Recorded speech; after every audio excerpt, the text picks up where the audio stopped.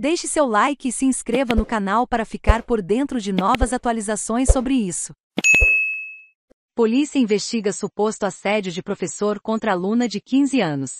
A mãe e uma adolescente de 15 anos denunciaram um professor por assédio sexual, ocorrido supostamente dentro do Centro de Ensino Setor Oeste, escola localizada na Asa Sul em Brasília.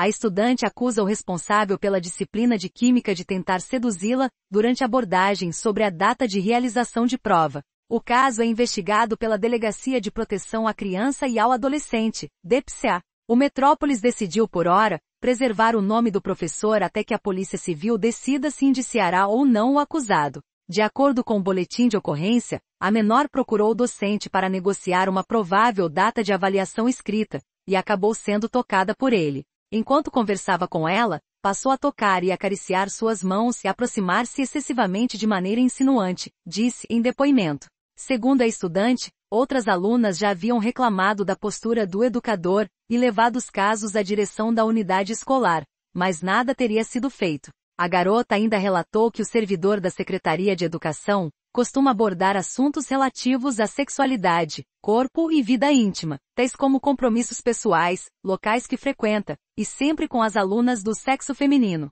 Nesta quarta-feira, 13 4, estudantes da unidade de ensino protestaram contra a suposta importunação feita pelo orientador. Professores são para educação, não para passarem a mão, registrou um dos cartazes erguidos pelos estudantes. Veja as fotos. Em nota, a Secretaria de Educação disse que a direção da escola está ouvindo as partes envolvidas para encaminhar o caso à Corregedoria da Secretaria de Educação.